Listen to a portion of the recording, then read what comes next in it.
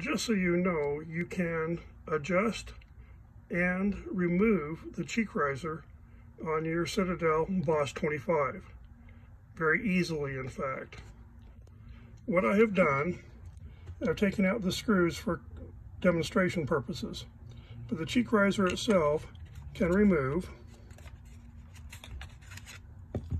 Then the adjustment plate can move forward or even forward again if you choose. Attach both the front and the back. Put the cheek riser in place. And there you are, new position, front, back, or rear. I prefer to take them both off. Now what I've done, I like the clean look, the minimalist look of the rear stock. The other thing I've done is added an Amazon purchase QD mount. The hole is there, the bracket is there. Screwing it in place makes an easy sling mount.